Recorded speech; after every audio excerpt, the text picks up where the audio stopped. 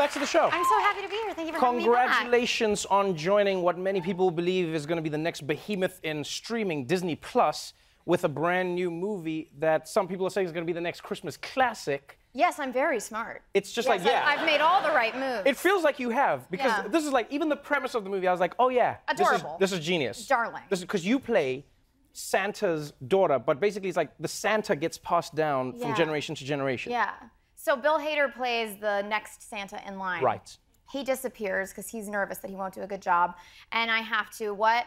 Go and save Christmas. I mean, naturally. Right. Why wouldn't I? Why would I make a Christmas movie where I didn't have to save Christmas? That's my job. But it's a cool story because, like, I mean, like, I, I'm, I'm not giving anything away really, it, it- other than the fact that, like, it's just a story where Noelle, your character, goes like, oh. Why does Santa have to go down to the boys? Like Yeah. Santa could be the most efficient Santa, the most, uh, you know, the most experienced Santa. yeah.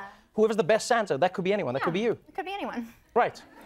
You have a better chance of fitting down a chimney. Yeah, I- well, I- well, well. Thank you, Trevor. I think you do. I think you do a much better job at fitting down a chimney than Santa. I Yeah. think you would be.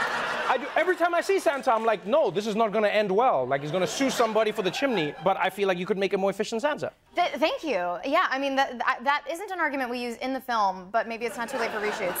Well, but that's because in the film, like Santa has magical things. Yeah. Yes. Of course, there has to be magic. I mean, it's a Yes. Disney movie. Right. I mean, if you're going to do a Christmas movie, it should be with Disney because they're going to build a North Pole where the whole thing is ice. There are no sidewalks. It's all ice, and you ice skate everywhere, and it's all very, That is very magical. it is, it is magical. It's friggin' magical. Is what it is. Did you?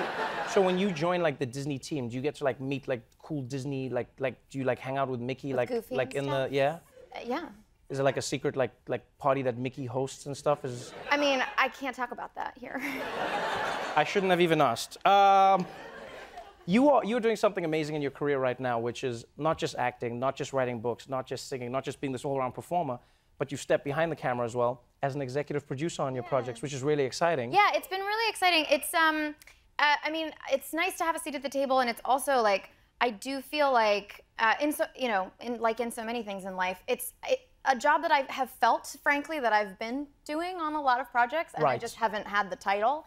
Um, so uh, I've had like comments from directors being like, "Oh God, like thanks for that, and I, I, I owe you a car. My God, I'm like, or you could give me an EP credit." um, so it's been really, really exciting. But isn't it a bit weird to be like? Because here's the thing: when you're acting, the director's sort of your boss, but then because you're the you're the actor, and then as the direct, director's your boss, but then as the EP, you're now the director's boss. Yeah. So it's like because it'd be weird Well, if the it's- director gives you a note. I know, I know. It's been, it's. I've been really lucky so far, where, um, because sometimes you get on a project and like a two weeks in, you're like, this guy's an idiot. Oh no, like what do I do?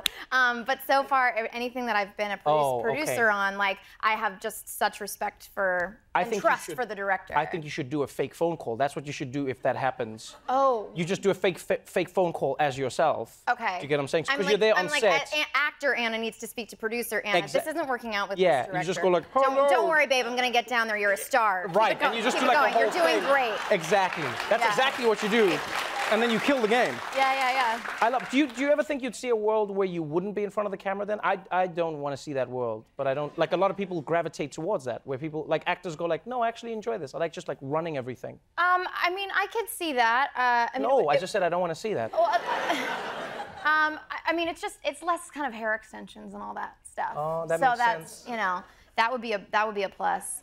Um, I could wear hoodies again, you know that kind of thing.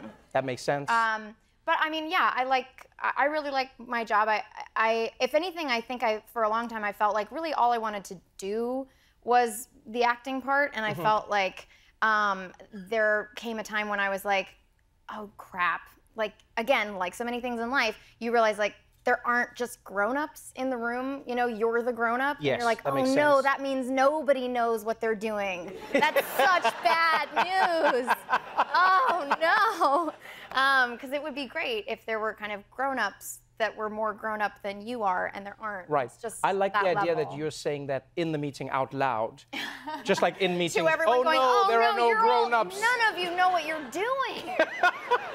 God, why did I listen to any of you? I think that would be amazing. Uh, I think everything that you're doing is amazing. Um, Disney Plus is gonna be huge just because it's Disney. I agree. I'm, I've made the right moves. You have made all of the right moves. The Christmas movie is coming out. Noelle is your character. Is there anything else you want to tell us about? Because I just like chatting to you. Oh, I actually did want to say that I hope that the fact that between the scenes has become like a whole thing is something that you're happy about and not like I've got to do like bonus interviews now because Anna one time came on after in between the scenes No, and now it's like a whole thing. No, no, but you you were the only person who like refused to listen to me when I said It's not a thing? Between the scenes is not a thing. But now it's a thing, so you're welcome. Yes. And I thank you, Anna. But I hope that that's okay and not just more work for you. No, no, it's fine. I can tell in mean, your eyes no, that you kind of These are it. happy eyes. These are happy eyes. These are eyes that enjoy doing more work. That's what these eyes are. No, no, no. Well, I guess maybe we'll do another between the scenes. Noelle will be available to stream when Disney Plus launches November 12th. Anna Kendrick, everybody.